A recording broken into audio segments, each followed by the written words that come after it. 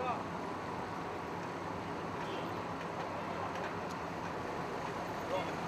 you.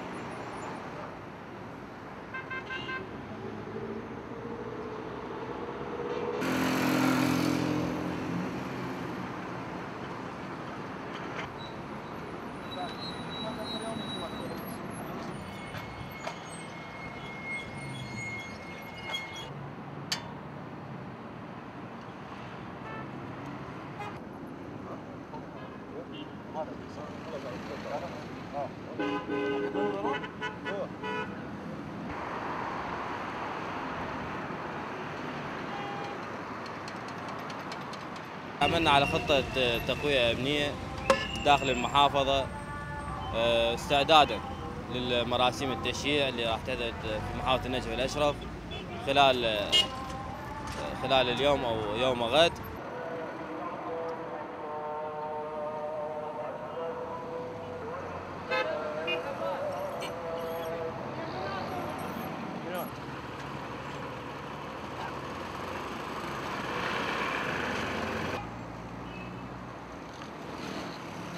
Bye.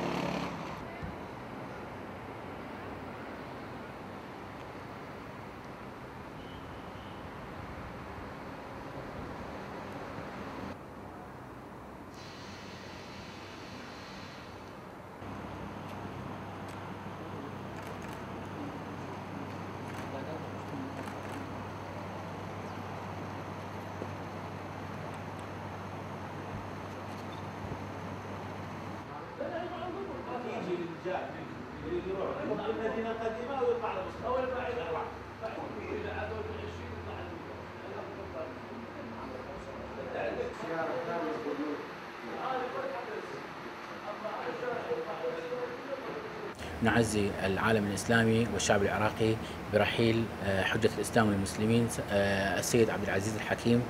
ونحن الآن نقوم آه، بالاستعداد لاستقبال الجسد الطاهر لدفنه في مثواه الأخير.